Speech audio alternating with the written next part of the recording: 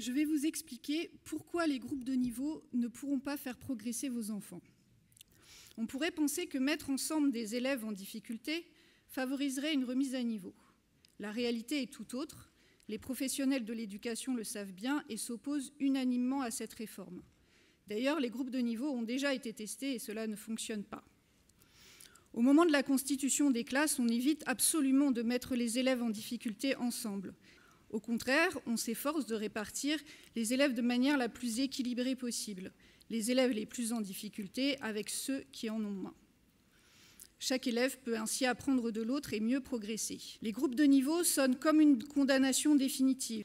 Il ne s'agit plus de faire progresser les élèves en considérant que ces difficultés sont passagères et qu'il est possible d'y remédier, mais de faire un tri un tri social. Tous les collèges n'auront pas des groupes de niveau. Les collèges les plus favorisés n'en auront pas. Ils pourront alors bénéficier de toutes leurs options et des doublements en langue ou en sciences. Ce ne sera pas le cas pour les autres collèges qui devront sacrifier ces options et ces dédoublements pour organiser les groupes de niveau. Quel parent voudrait que son enfant soit dans le groupe des mauvais élèves? Imaginons-nous le stress de nos enfants et pour leurs parents. Quelle orientation, quel avenir?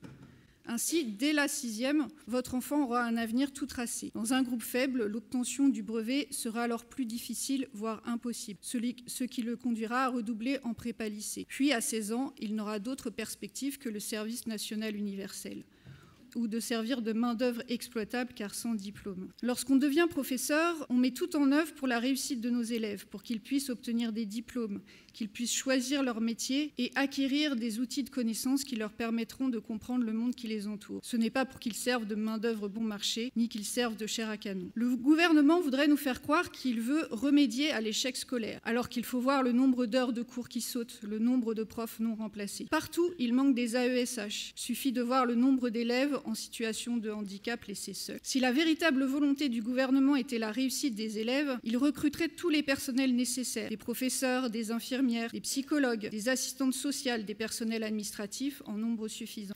Il n'y aurait pas 700 millions de coupes budgétaires pour l'éducation nationale. Les personnels et les élèves travailleraient dans des lieux décents, pas dans des établissements qui menacent de s'effondrer. Voilà ce que ferait un gouvernement au service des travailleurs et de leurs besoins, tout le contraire de ce que fait un gouvernement au service des capitalistes.